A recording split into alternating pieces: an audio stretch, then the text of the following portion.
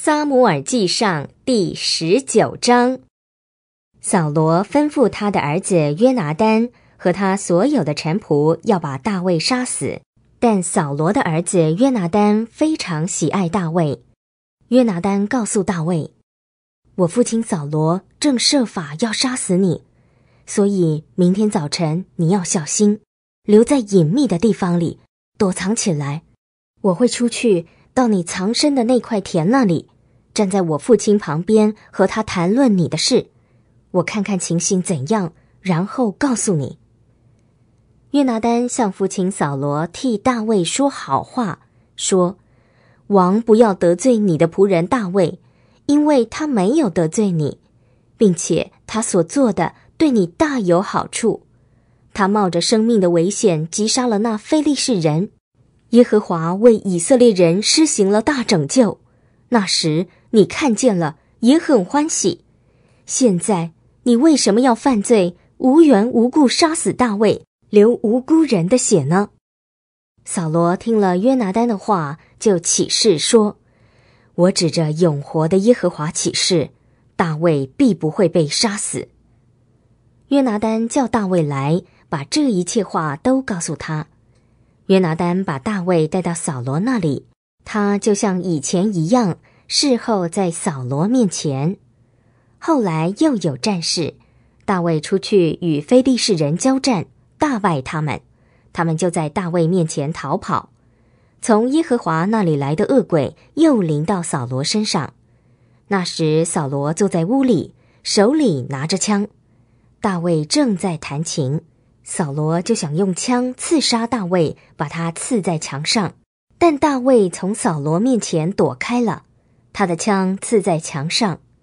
那天晚上，大卫逃跑就逃脱了。扫罗派人到大卫家里去监视他，要在第二天早晨杀死他。大卫的妻子米甲告诉他说：“今天晚上你若不逃命，明天就会被杀死。”于是米甲从窗口把大卫坠下去，大卫就离开那里逃走，逃脱了。米甲把家中的一尊神像拿来放在床上，把头枕在用山羊毛弄成的枕头上，再用衣服盖着。扫罗派人来捉拿大卫，米甲说他病了。扫罗又派人去看大卫，说：“你们把他连床一起抬到我这里来，我好杀死他。”奉派的人进去，看见床上有一尊家中的神像，头枕在用山羊毛弄成的枕头上。扫罗问米甲：“你为什么这样欺骗我，放了我的仇敌，让他逃走呢？”